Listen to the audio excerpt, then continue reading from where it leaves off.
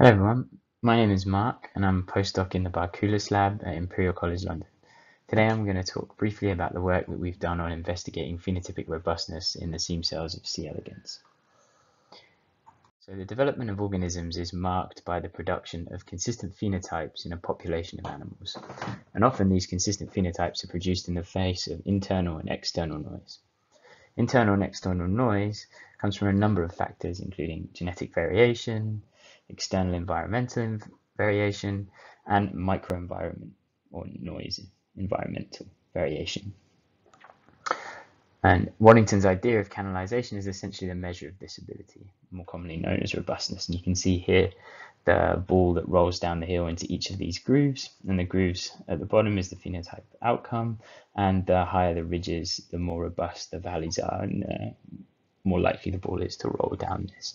And while phenotype Robustness has been studied in mainly unicellular organisms, such as yeast and E. coli. It's not been so well studied in multicellular organisms. However, C. elegans, the small nematode, is a, a good multicellular model to study phenotypic robustness and the effects of internal and external noise on phenotypes. Uh, because C. elegans is isogenic and the lineage of C. elegans is fully characterized, and therefore this allows for precise knowledge of single cell lineages and eliminates the confounder of genetic variation between individuals. So here we investigate the seam cells as a model of uh, phenotypic robustness. And the seam cells are a population of cells that reside in the epidermis of C. elegans.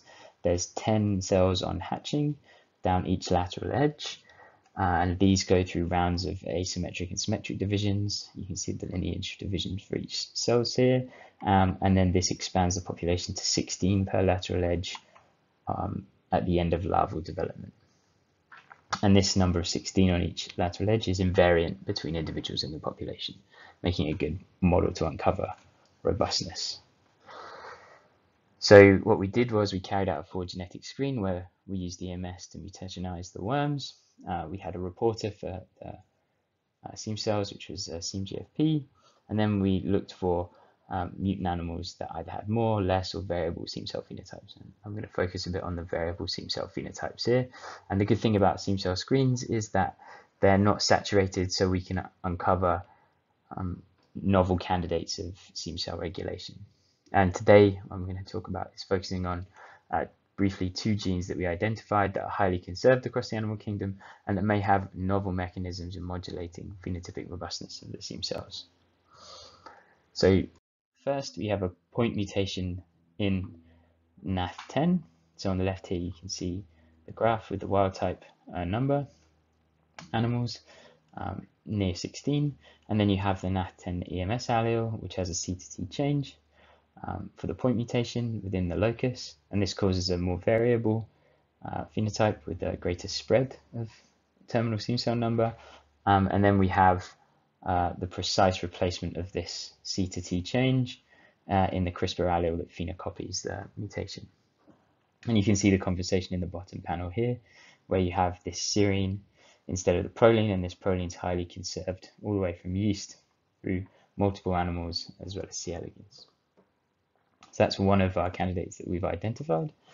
Um, and then the second candidate that we identified was uh, BUS19.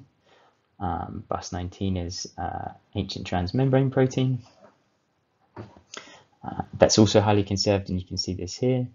Um, it's conserved all the way up to humans uh, with TMEM41A. And we found that when a premature stop codon was introduced into the BUS19 locus, that there was a significant decrease in the number of seam cells as well as a greater spread of terminal seam cell numbers. You a greater level of variability.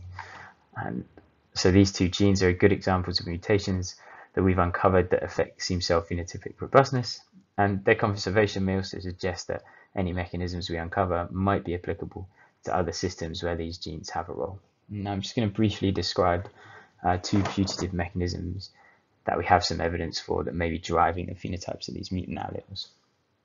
So for the N-acetyltransferase NAT10, uh, we did some RNA-seq, and what we found was that there was a shift in the level of variation of global mRNA transcripts. So here in these two graphs, you have the coefficient of variation uh, plotted of mRNA transcripts. So you have the average normalized counts on the bottom, the coefficient of variation on the, the y, and you have high variation transcripts in blue, uh, medium variation transcripts in black, and low variation in uh, orange. And what we found was that a smaller fraction of uh, genes were in the low variable category for the NAT10 loss of function. So you can see this shift in the size of the orange portion in these two graphs. And therefore, this may suggest that globally, uh, transcription may be more noisy within the NAT10 loss of function. Um, and these are the, some aspects that we're currently following up, and we find that there may be some changes to seam cell uh, genes as well as uh, to Wnt genes within these um, transcripts. And so this is one possible mechanism that we've been following up as a global increase in variation of transcript level.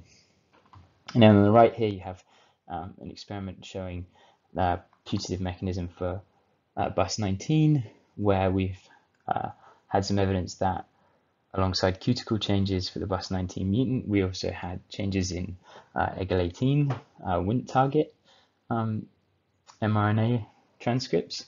And so because BUS19 is a trafficking, a membrane trafficking protein, we looked at um, the localization of the Wnt receptor Lin17. And what we found was that the fluorescence intensity of Lin17 in the BUS19 RNAi, which phenocopies the mutant, is significantly less. And you can see this here in the confocal images where Lin17 is tagged with scarlet. Um, and you can see that in the BUS19 RNA, there's a significantly less. And you can see the seam cells marked in turquoise here. And so we think this might suggest that there's a novel role for BUS19 in the Wnt signaling of seam cells.